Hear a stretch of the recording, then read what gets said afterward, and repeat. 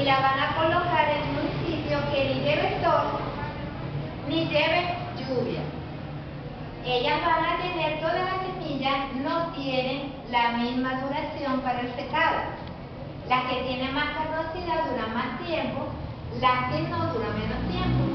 Entonces, así como les dije lo del melón, van a hacer con la del pimentón, van a hacer con la del tomate, con todas las semillas que van a extraer. ¿Se entendió? Ah, ¿cuál es el otro punto? Cuando ya está totalmente seco, ¿cómo saberlo?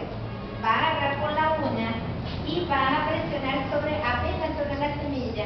Si ella se hunde, todavía está ella se va a ver cuando está totalmente seca. La auyama, hay diferentes tipos de auyama.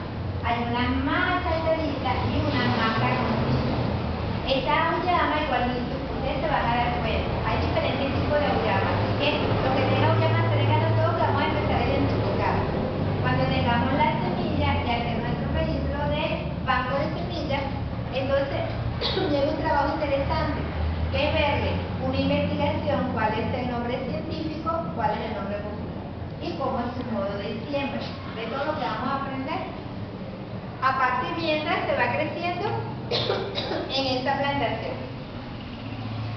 Cuando, ya cuando va a embolsarlo, en cómo tener puedo ponerlo en envases y yo les voy a dar una técnica acá con un envase que, me, que mis compañeras de, de, oye, demasiado creativas y yo no había pensado en eso, por eso que todos los días innovamos y nos alimentamos. Ellas crearon con la botellita chiquita de agua, de esa de agua mineral y de refresco, un envase que parece un envase de laboratorio. Como ellas son de laboratorio, hicieron eso Y vamos a transmitir e intercambiar este saber, aparte de otros tipos de envase que vamos a hacer. ¿Cómo lo vamos a envasar? El envase, si es de cristal, nosotros vivimos en un ambiente húmedo, ¿cierto? Ah, el cristal suda. Las semillas se pueden contaminar. Preferiblemente, tiene mayor durabilidad, en envase plástico y le vamos a agregar ceniza de fogón, un poquito de ceniza para conservar las semillas.